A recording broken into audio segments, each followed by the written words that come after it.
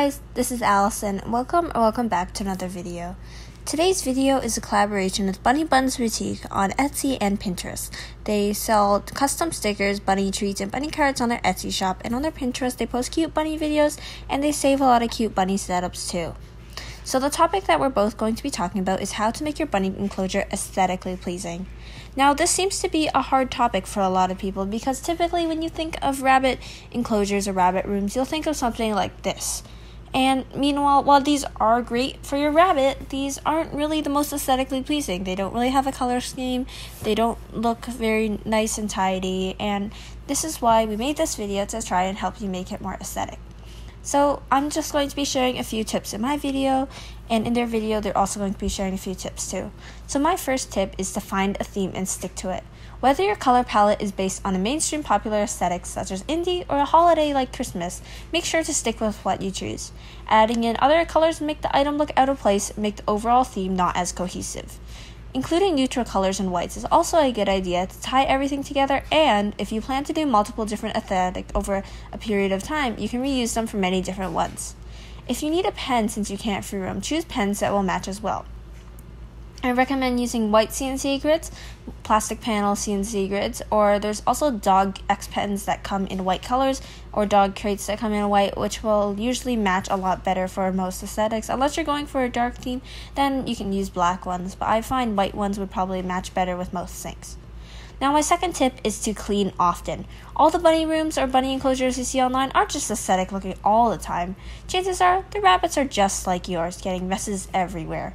Spot cleaning twice a day, vacuuming, and using air purifier will help greatly with this. Another thing to do is make sure that your rabbit is properly litter trained and spayed or neutered because then it'll just make the entire area look overall tidier. My third tip is to look outside of the small pet aisle. Even though pet stores sometimes sell things that, for rabbits that will both be enriching and nice to look at, it's rare to find things with both of these qualities. I suggest looking in the dog or cat aisle because often you'll be able to find things that will blend in with your furniture more, such as cute beds or a cat tree. My fourth tip is to repurpose human items, since human items are usually way more visually appealing. You can also save a lot of money by doing this because pet items tend to be extremely expensive. For example, if you find a pretty bowl, you can use that for water. If you find a nice container, you can use it as a litter box or even a dig box. You can also use things like side tables to make hideouts that will blend into your home decor, which is super important, especially if you have a free roam rabbit.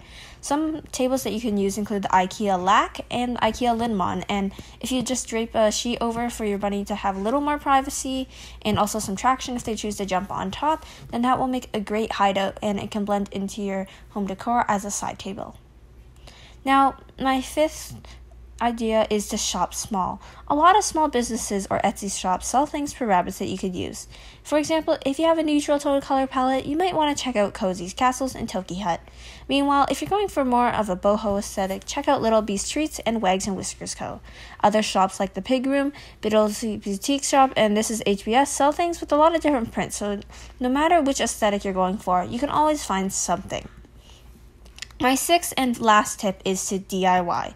You can make whatever fits your aesthetic this way. You can shop at places like Walmart or Joann's Fabric for materials to use to sew items like pen liners, bed, fleece floors, or tiles. At Home Depot and similar stores, you can get wood to DIY things however you want. Pet safe paints such as Crayola Kids paints are also great, but if your bunnies chew things, of course, then I'd suggest avoiding it. Now, with all the tips done, just a reminder no matter how aesthetic you want it to be, make sure that it's still an enriching setup for your rabbit. You want at least one more hideout than you have per rabbit, and multiple digging, foraging, throwing, chewing, and hiding toys. So this will be it for today's video. I hope you got some inspiration on how to make your rabbit enclosure look a little more aesthetic from this. And if you did, be sure to check out Bunny Bunz boutique video over on their Pinterest as well. And I'll see you guys soon in a new video. I hope you enjoyed. And if you did, be sure to like and subscribe. Have a great day or night. This is it for now. Bye!